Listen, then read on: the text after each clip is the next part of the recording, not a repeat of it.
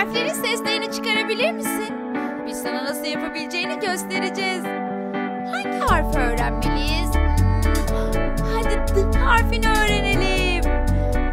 Bu küçük D harfi. Bu ise büyük D. Şimdi D harfinin nasıl göründüğünü biliyorsun. Hadi şimdi birlikte söyleyelim.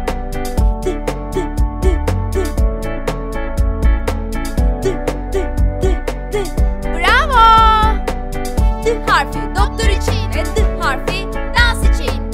D harfi dünya için, D harfi dondurma için, D harfi deve için ve D harfi bir dürbün için. D harfi davul için ve D harfi domates için. Bunlar D harfi için birkaç örnek. Hadi D sesini bir daha yapalım. Hazır mısınız? 3, 2,